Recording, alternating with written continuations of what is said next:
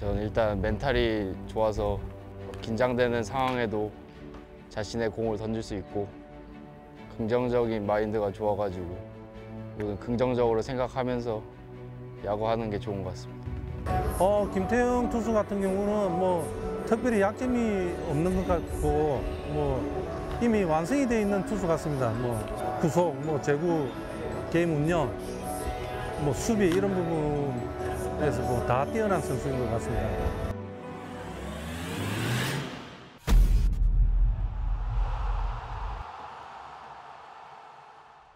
안녕하십니까. 저는 투수 김태형이고 저는 어떤 상황에든 자신 있게 던질 수 있는 피처입니다.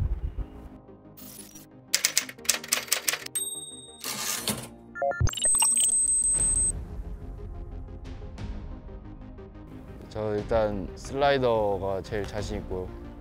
좀 불리한 카운트에도 슬라이더로 카운트 잡을 수 있는 정도로 자신 있습니다. 일단 처음 올라가서 떨리기보다는 좀 설레가지고 했는데 좀 마음이 앞서서 살짝 급한 것도 있었지만 던지다가 조금씩 잡혀가지고 나쁘지 않았던 것 같습니다.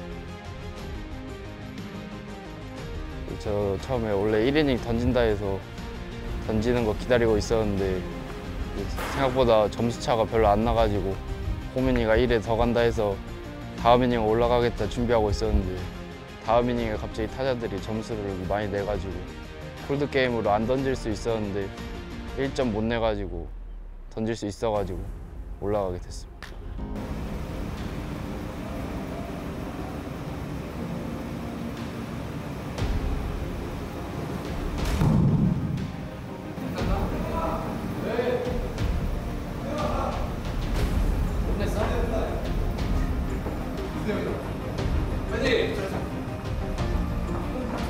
전 한 번이라도 더 던지고 싶어가지고 좋았습니다.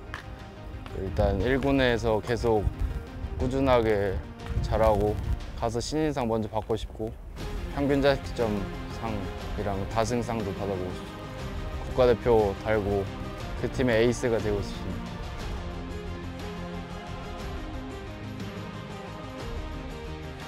저 현우, 정현, 현우 일단 공도 잘 던지고 경기 운영도 좋고 다 좋기 때문에 현우를 이긴다면 저도 받을 수 있지 않을까 생각합니다.